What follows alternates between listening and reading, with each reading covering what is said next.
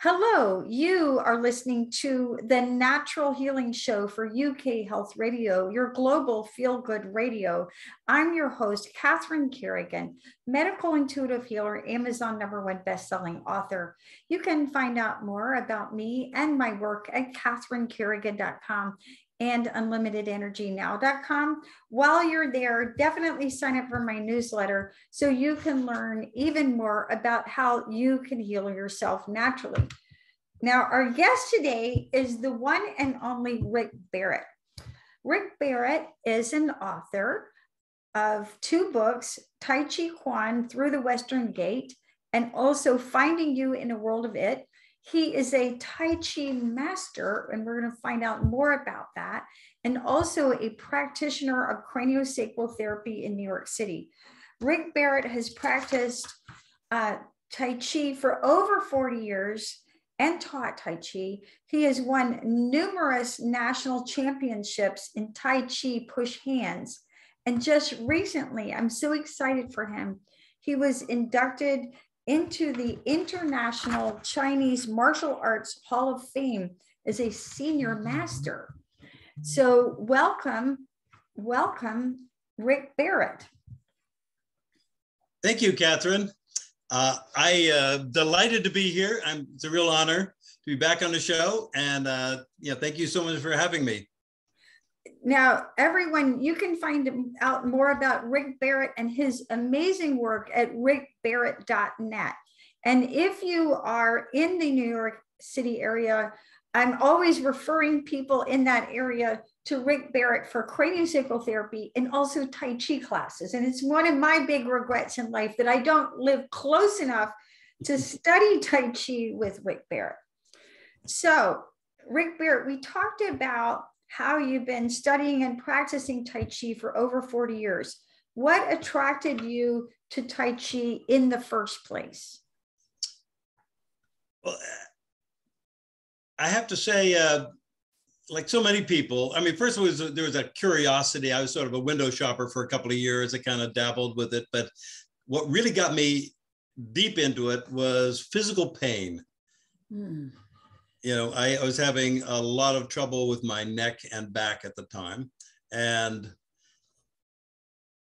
I would go to a chiropractor, get it, get it fixed up, and then it would go out, you know, just days later. It's like, okay, there must be something that I'm doing wrong here that is causing this to keep recurring. So I uh, looked around and found that uh, Tai Chi had a way of balancing your body mind in a way uh, to allow for things to flow more smoothly, more freely, more.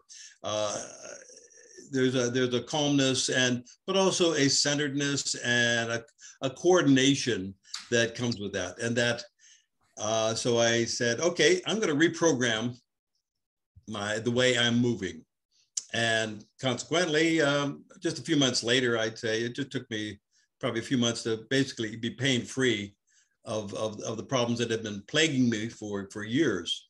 So that was, uh, that was, that got me hooked.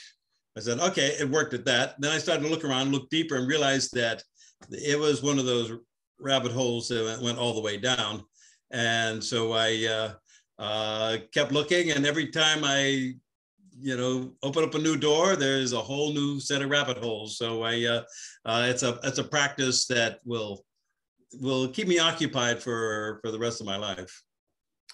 Now you have won, as we talked about, you won many national championships in push hands. Will you explain for our audience what exactly is push hands? Like when I look at it, it looks like a bunch of guys just wrestling, like Chinese wrestling. What is push hands? Well, at at the crudest level, that's exactly what it is. It's just people kind of pushing against each other. And and basically the idea is i keep my balance make you lose yours you know and uh, that's that's the, the essence of it. At a higher level though it becomes an energy dance.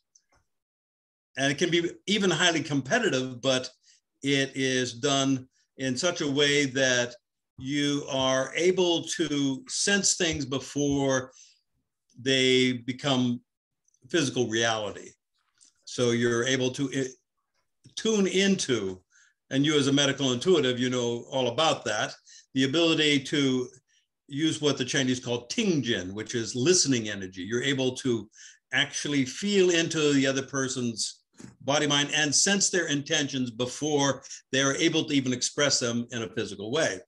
And it, uh, so the part of the attraction for learning or competing in, in, in, these tournaments was to um, to actually see how much of what I have been learning actually worked.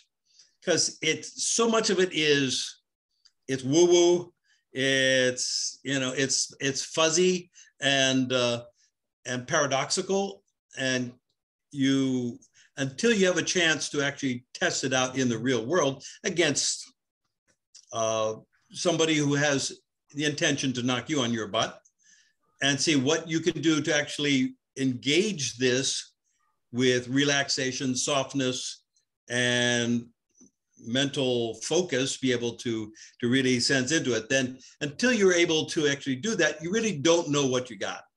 So i learned a lot about what i had. And i also found out that after even after having some success winning tournaments i realized i wasn't doing it as elegantly as i would like so then i had to go back and start over again and invest in loss this is one of the chinese terms that yeah, that we, we, we use in for uh, uh, for in Taiji is like investing in loss. Be able to put yourself in situations where you don't think you're you have an advantage, so that you can solve the riddle.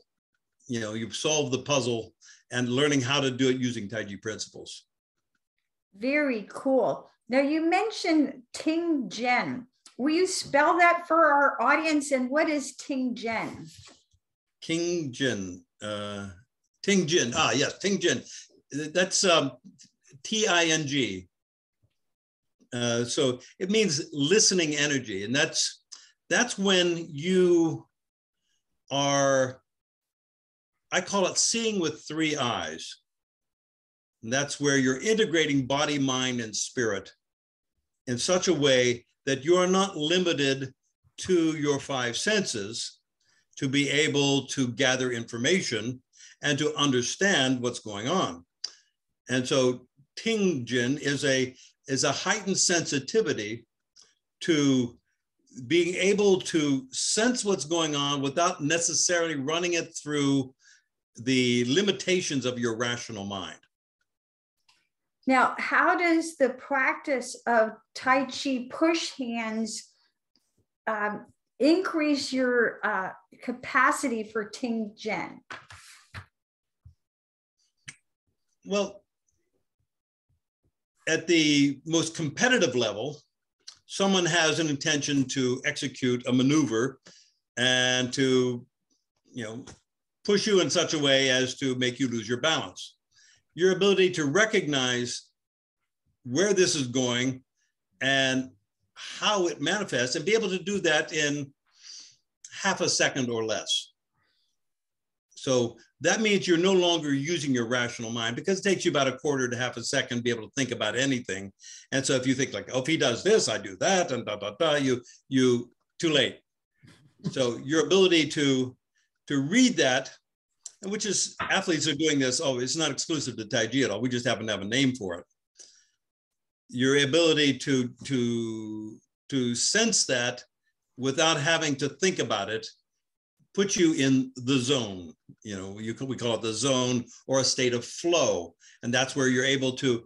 You're not slowed down by your your thought process. If we take this practice uh, into a more of a uh, a uh, not a competitive but a cooperative exercise, you're learning how to sense at a very subtle level without a a serious threat to you know your stability, but you're able to then attune yourself to subtleties of movement and beyond that into subtleties of energy and subtleties of intention that are what some people would look at that and say oh that's superhuman that's that's something that you can't do that but you learn to do that because it's you're attuning to something which is happening at a, a finer uh, level of uh,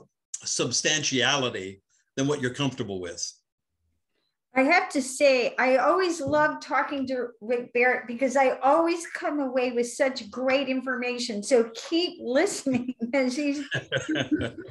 now, uh, there's a lot of scientific studies about the benefits of Tai Chi. What do you personally get from your practice? Hmm, good question. Um,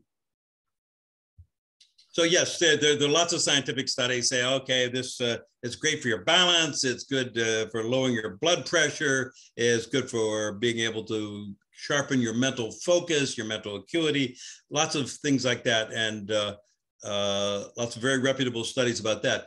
But for me personally, I'm going to put it in very broad terms. And there's a, there's an expression uh, that um, called neg entropy and this is a, uh, a way of talking about reversing the effect, the natural effects of entropy. Entropy is the, in broad terms, there's lots of definitions for it, but in broad terms, you can say it as the tendency of things to fall apart, to wear out, to get old, to decay, to, to break apart. And everything in the universe, universe, every form in the universe tends toward entropy. That's just because that's that's how we're built. You know, we nothing lasts forever is a you know way we think about it. But negentropy, or another way of saying it is syntropy, is when consciousness gets involved. That is when you're bringing mindfulness to the form, you create new levels of organization that either slow or reverse the entropy. That is, so you don't fall apart nearly as quickly as if you are just blindly following the path of nature. Because nature, you know, nature basically is, using us to replicate our species. And then after we, we're done with the prospects of making babies, uh, it doesn't really have a lot of use for us. And so it just wants to get us kind of get us out of the way as much as quickly as possible. And so they can make room for the new babies to come along and uh, and to re, you know repeat the the process. For those of us and humans, we tend to kind of want to hang around a little longer sometimes, and uh, and well past the childbearing bearing years, and we uh, so we then have to apply our our, our mental capacity to changing the game. So we're no longer just blindly following the unfolding of nature. We're we're saying no, no, we're going to do something a little differently. And so a lot of what we do in Tai Chi Chuan is is neg entropy. It's it's reorganizing things that we've been doing for decades. Maybe you know, like the way you stand, the way you walk, something you've been doing since you were a year old, and you have these very fixed patterns about how it should be done. And in Tai Chi, we slow it way down and say, okay, that worked. That got you this far. But is that the best you can do? Is that gonna, is that gonna help you live to 80, 90, 100, 120, you know, and and not only just live that long, but live a healthy life, live a vibrant life, you know. So the uh, neg entropy says, no, we're going to infuse more energy, more consciousness into our lives so that things are going to go a little bit better. Great explanation. Also known as anti aging, right? Right. That's another way of putting it. But no, no face creams, right? Unneeded. exactly, not needed. Okay, with that, we're going to take a break and listen to a message from one of our commercial sponsors and hang in there and we'll be right back with the wonderful Rick Barrett of rickbarrett.net.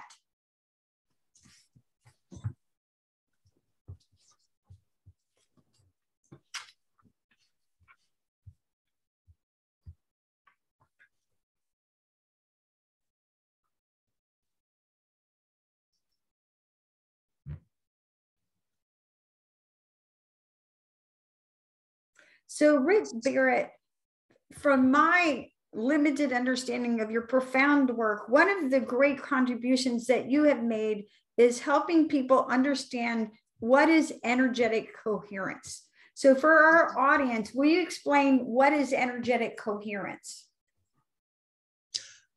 Love to. Uh, this is right at the core of what I do, and um, and it probably understanding this principle made a huge shift for me in in my practice, but also my my whole life.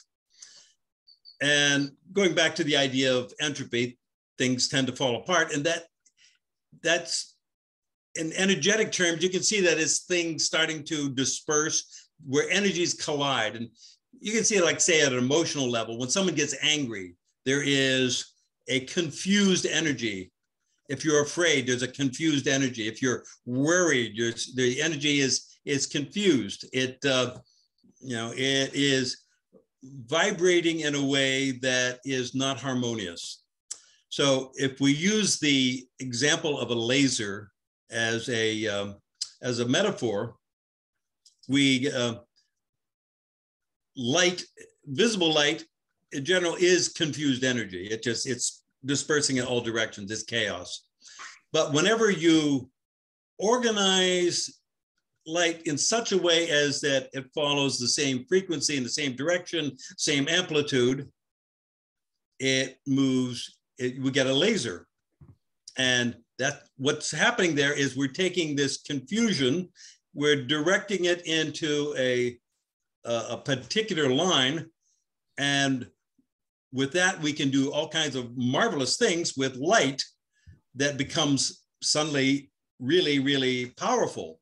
You can, know, I uh, a few years back I got LASIK surgery where they they used a uh, a laser beam to fry my uh, my eyeballs in such a way as to enable me to go without glasses for the first time in my life, and uh, you know we can you can but at the same time you can cut through steel with with a, with a laser. You can you know we can do surgery with it. We can do uh, we can do all kinds of things with laser. We can use it for measuring precise distances at you know uh, uh, precise uh, distance at, at great distance. So the uh, if you can take your energy and make it like a laser that is if you can organize it in such a way that it works more harmoniously, it has a positive effect on your body mind. It has a positive effect on your health. It also has a positive effect on your capacity to perform. To, in, in my case, you know, perform martial arts, but also in, you know, when I play tennis or whatever. If I, the more coherent I am, the more focused I am, the more my body mind works together as a in a state of wholeness. It also changes my mental state. My state of consciousness, my state of being becomes very calm and clear. And so energetic coherence allows one to, to access that. A very simple, I'm speaking about it very abstractly here, but a very simple thing you can do, and I highly recommend this, is to just point and reach with your index finger and just very gently, it's like you're flicking a light switch or something. So there's an intention that goes to your index finger. When you do that, you're isolating your attention and you're taking away from all the other stuff that's going on. You're saying, no, no, this finger is the thing. And the key here is to be able to feel your finger. It's not enough just to think about your finger you have to actually feel the finger. And that's why I say you can move it or whatever, just so you get that feeling. And when you do that, just try it right now. You point, you reach with that finger and you feel that. Take a breath. And notice your mind clears instantly. And to the degree that you can feel, it is clearing your mind. It's making it possible to shift your, your conscious mind from the, the monkey mind that is churning away what psychologists call the default mode network, which is the, you know, the, the that ongoing chatter that is updating your narrative moment by moment and allowing you to tune into a whole brain coherence. That is, your entire brain starts to work better together, and you're able to access parts of your mind that are dormant, that are hidden, that are unavailable to you in your normal state of consciousness. Beautiful explanation. Now, you mentioned that one way that we can access energetic coherence is by feeling ourselves pointing our pointer finger. And right. I have to share how I've used this in my teaching because I've taught yoga for 27 years. And when I'm trying to teach people how to balance, say how to do a tree pose, one of the things that I say is extend your energy through your pointer finger. And with, whether I'm pointing or I have my hands together in a more traditional yoga hand pose, if I'm just extending my energy and feeling it, it actually improves your balance. Beautiful. So, so can you give our audience some other methods that we might be able to increase our energetic coherence in our life? Other methods of doing that? Yes, I'd love to. The um, underlying all the methods that I'm going to talk about, you know, is this capacity to learn to consciously feel and consciously move. And if there's one principle that underlies the uh, the practical application of of the internal arts, it's this capacity to feel and to move. And that's because we have a tendency to think about and I can't emphasize this enough, but thinking about something is absolutely, absolutely vital for living as a human being. We have to be able to tell a story. We have to be able to talk to each other. We have to be able to remember where we live and things like that. So that requires some degree of thinking.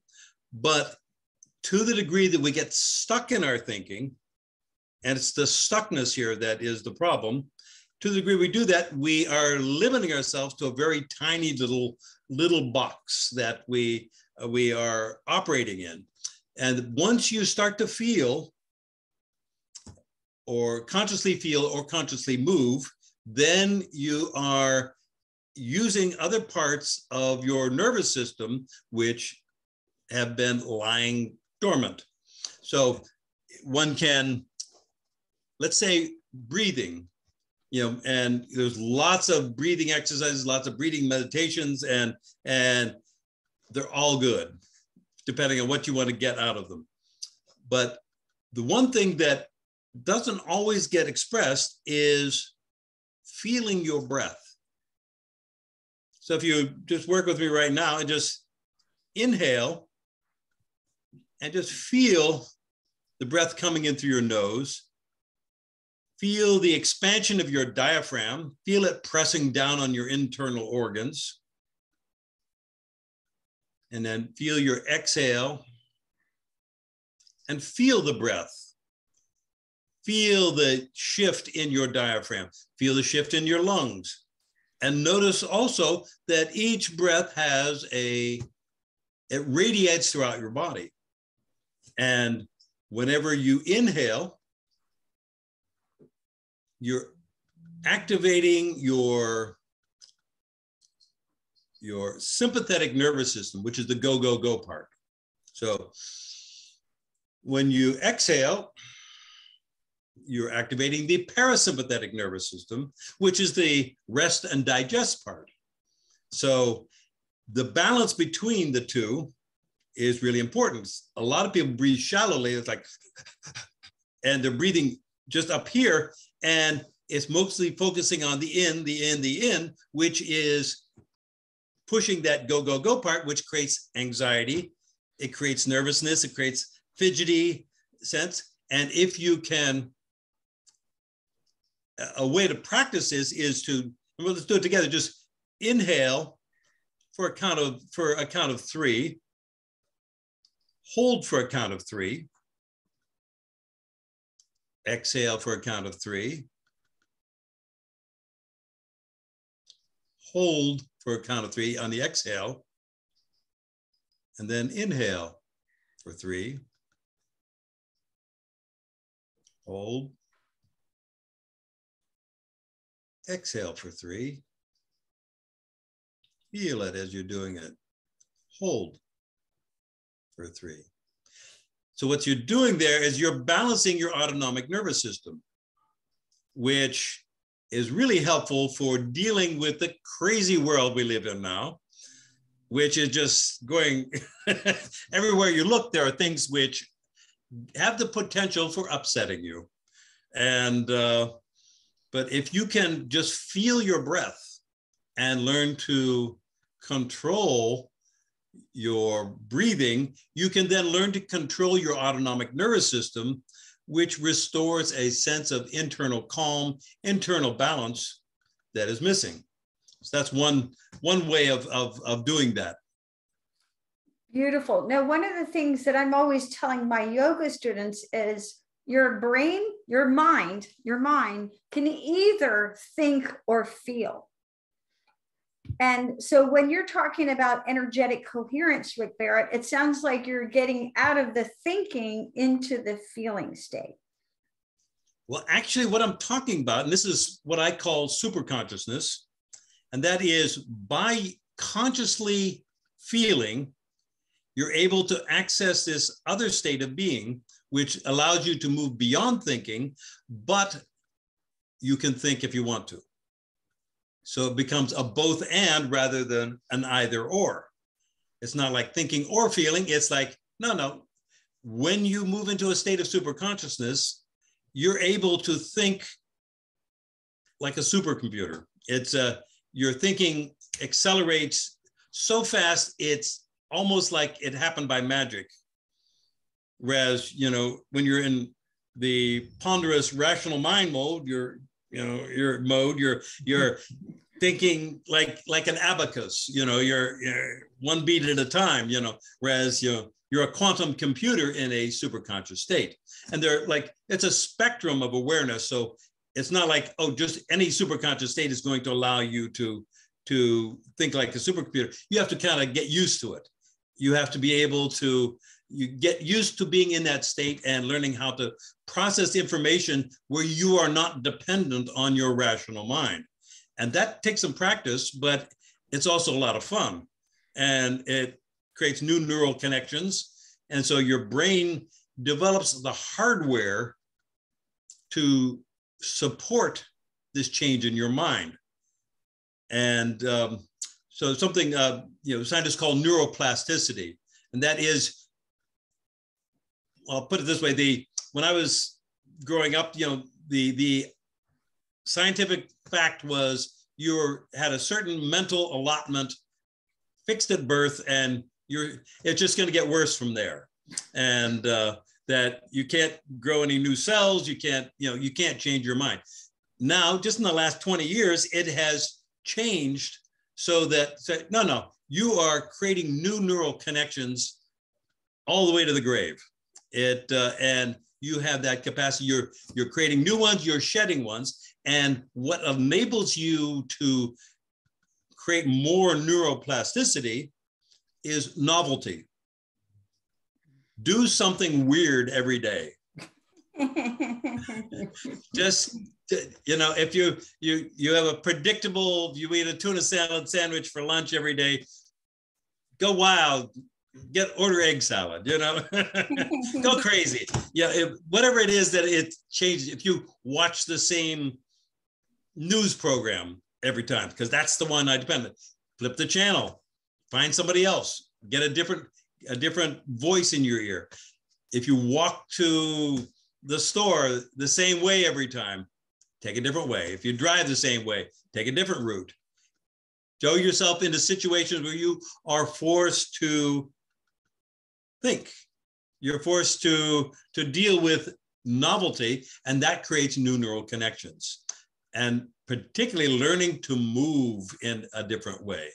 You teach yoga, and you, you know, you're teaching people to do something which their bodies don't necessarily want to do. and that's that part of yoga's uh, charm is that it is creating these new neural pathways as it is forcing you to like, oh, I have to tune into my body in a way that I never have before. Now, Rick Barrett, how do you use Tai Chi to flow with life and not take the hits of stress so badly? You know, at the core of Tai Chi is is learning to engage hardness with softness. That is, you are not doing this all the time, right? With with life, you're you're not clashing against life. You receive this, and you life presents you situations that hopefully challenge you in some way. That you know, is going back to novelty. If you're not being challenged, then you know, go out and do something weird. But the if life is doing that, so you have a chance to either say, no, that doesn't fit into the box that I have set up here. That doesn't fit into my religious, metaphysical, political, cultural idea of this is the way it should be.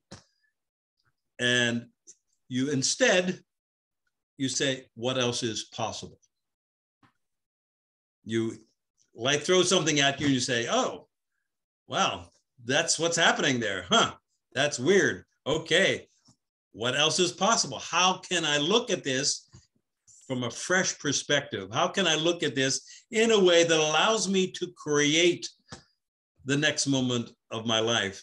There's uh, in uh, in uh, comic improv. There's two rules basically that it's yes and you know, rule number one is you take whatever is coming in that your partner is giving you. And the second rule is do something with it. You know, take it, add your own little bit to it. So the the motto there is yes and with life. It's like you're not just you're not just passively taking what life has to to to, to give you because as we said as I said before, nature has a tendency to move toward entropy.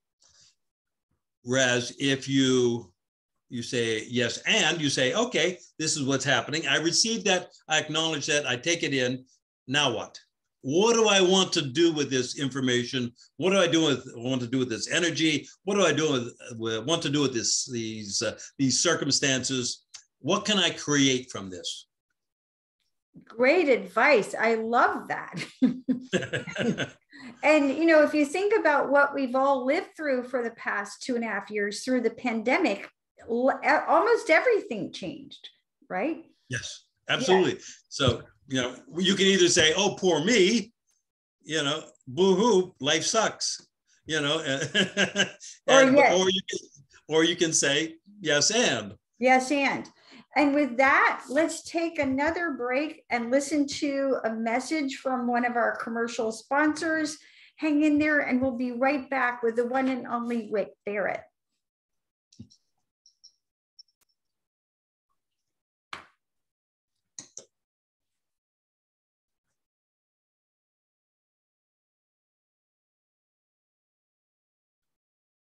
So, Rick Barrett, if I could summarize what we're learning here from you today, I would say it's how to think like a Tai Chi champion, because we all have our own mindset.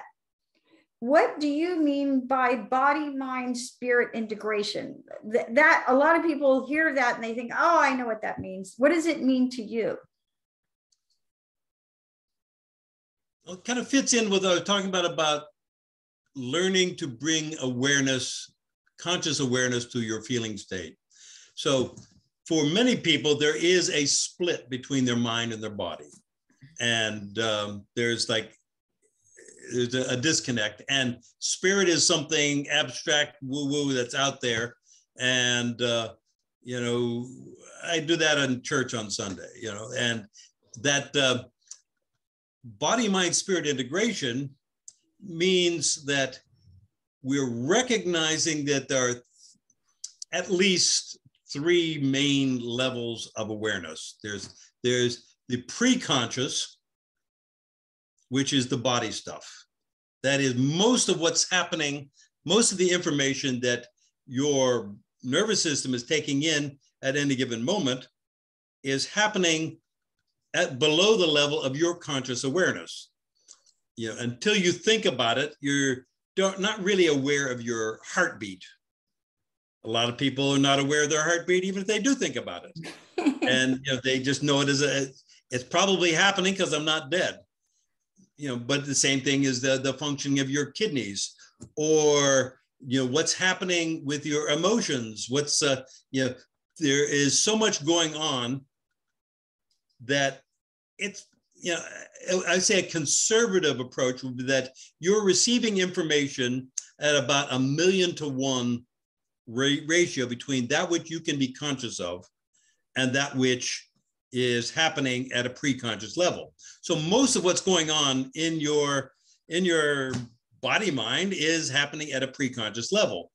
Doesn't mean it's stupid. It just means that it's operating at a different level of intelligence than your rational mind can, can figure out. So whenever we bring the conscious mind to that uh, conscious awareness to the feeling, so like we had the, the finger, if I bring conscious awareness to my index finger, who thinks about their index finger? You pointed thousands of times in your life and never got the effect that I'm talking about. But if you bring conscious awareness to this, you feel that finger, there is a shift. And then, oh, you're bringing awareness to that shift and you're saying, oh, I'm not where I was a minute ago. Uh, my my mind is now so that so now you have this this this fills you and you moved into a state where you're able to observe both your mind and your body, both the conscious and the preconscious. So you have moved beyond consciousness. It's super and that is above consciousness. You're able to observe your conscious mind very much like you're operating your mind like you operate a, a computer. You can turn it on, turn it off. You can you can make it do tricks. You can uh, slow it up speed it up.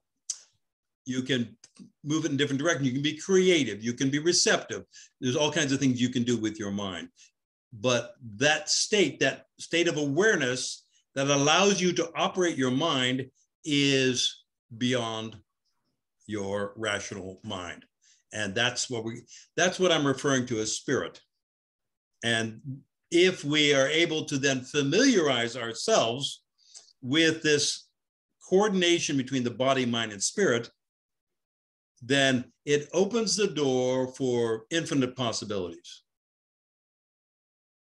Now, is Tai Chi, in your opinion, a martial art or is it a spiritual practice?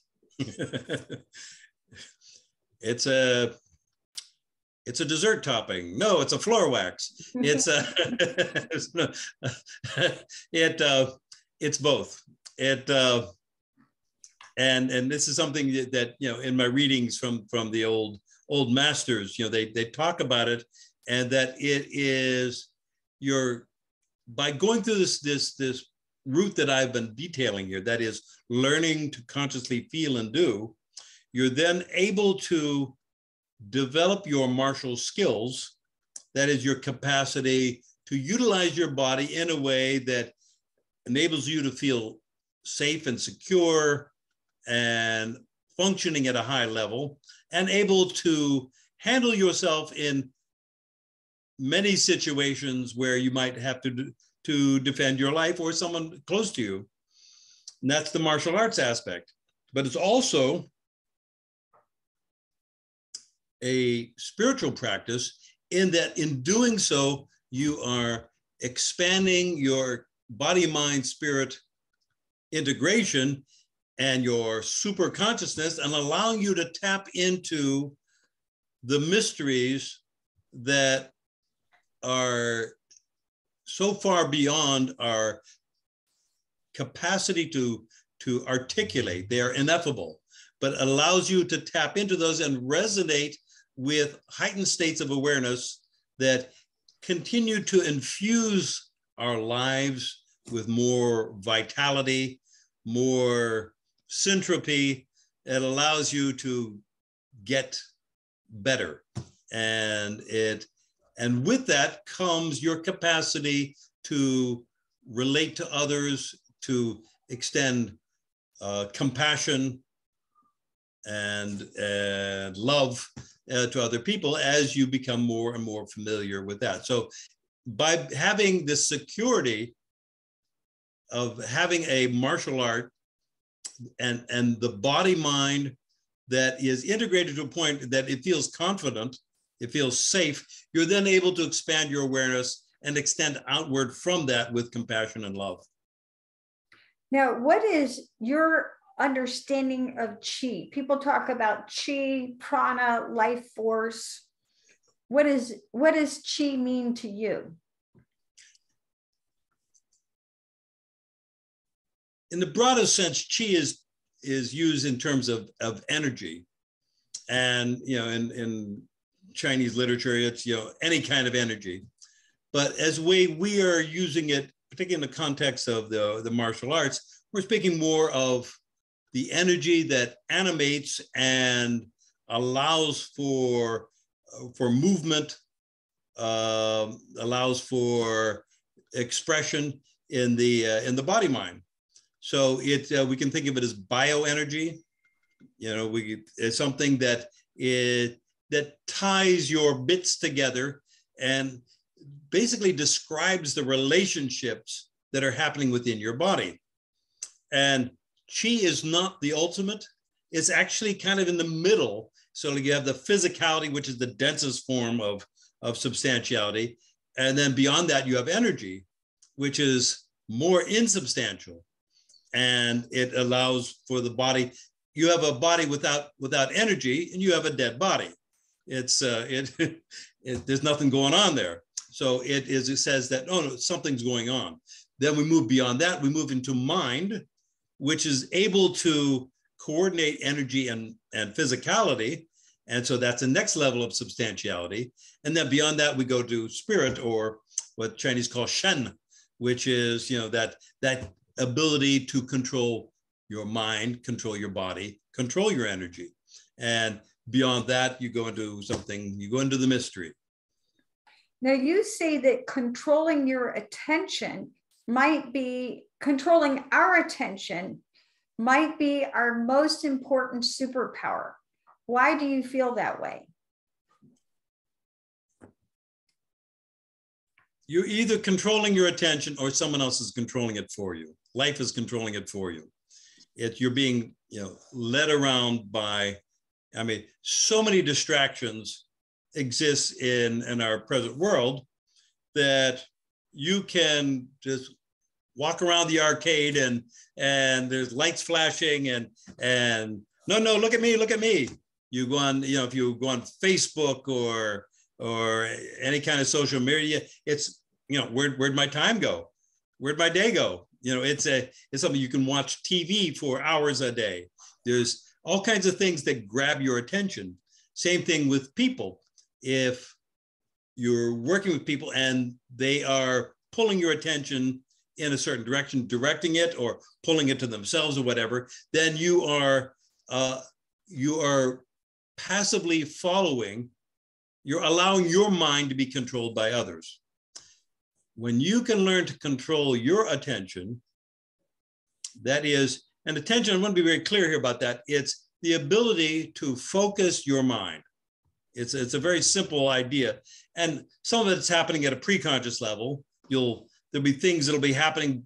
You're at you're you'll be alerted to to things that you haven't thought about just because like you know like a mother who is um, you know asleep and and but they're you know she hears her child coughing down the hallway you know she immediately wakes up that's you know that the, the her preconscious attention has alerted her conscious mind and says this is, is what's going on. She's her attention has gone to that. And she can ignore the guy sleeping next to her who's snoring quite nicely, but that that cough down the hall is, is enough to wake her up. And that's a program that you can set up. You can set up a, a, a program which allows your attention to, to be alerted whenever uh, you're in a preconscious state. But your ability to consciously direct your attention is, is, is super important. So like you're, you know, your ability to bring your focus, let's say, you know, just to be able to bring your focus to feel your left hand. And when you do that, that's that's getting all the attention or just about all of it. You're and what this does is it lights up your left hand. The chi goes to your left hand. You bring it to the right hand and you're letting go of the left hand. And you're saying, "Oh, I'm I'm my chi is going here now."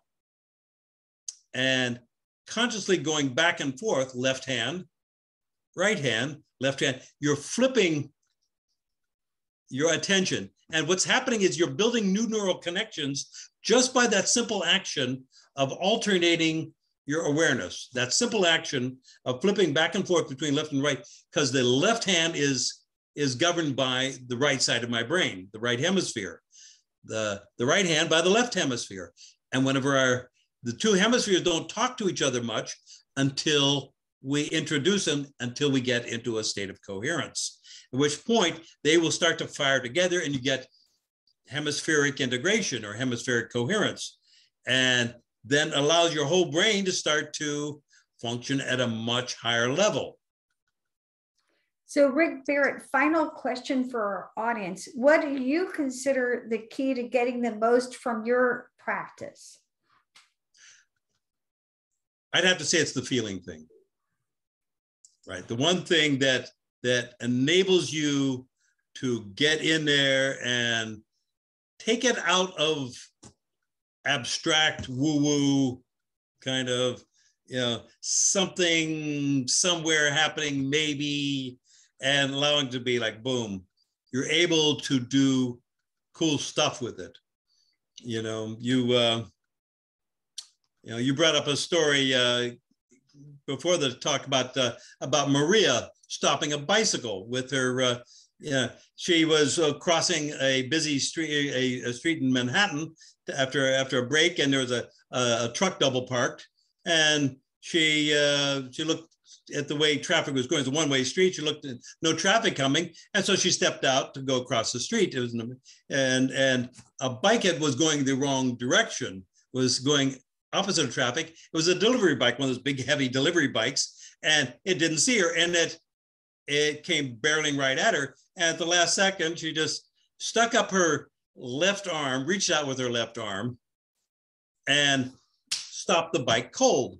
And uh, and in doing so, she crushed the the wire basket of uh, that that was holding the the food and and stopped the bike. Cold, did not lose her balance, and and at the time she was she was, uh, you know, 110 pound, 60 year old woman. And, and, she was able to, to stop a cold. The guy was like freaked out because like, you know, he thought he was going to, he thought he had killed her, but no, she just reached over and said, are you okay? You know, so mm-hmm. she was able to handle the energy, take it in and redirect it instantly. And that's kind of what we're talking about here. It's not the ability to bust face and kick ass. It's the ability to live life and feel safe in your own skin. You've been listening to the Natural Healing Show for UK Health Radio. I'm your host, Catherine Carrigan, medical intuitive healer, Amazon number one best-selling author. You can find out more about me and my work at catherinecarrigan.com and unlimitedenergynow.com. While you're there, definitely sign up for my newsletter so you can learn even more about how you can heal yourself naturally. Our guest today has been Rick Barrett, author, Tai Chi master, craniosacral therapist. You can find out more about the one and only Rick Barrett at his wonderful website, rickbarrett.net. And remember, when you bring yourself into energetic coherence, magic can happen. Thank you so much for listening, and we'll see you next time.